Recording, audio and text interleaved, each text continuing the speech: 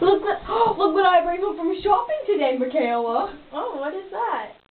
This is all you can eat animal grass edible grasshoppers. Try one. They come in little packets. Oh, sure. You have to pat it and then roll it up and then eat it.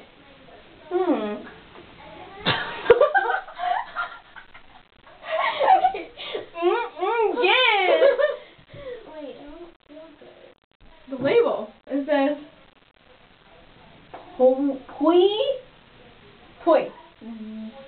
Po- poison. Poison. Uh oh. Don't eat your grand animal grasshoppers.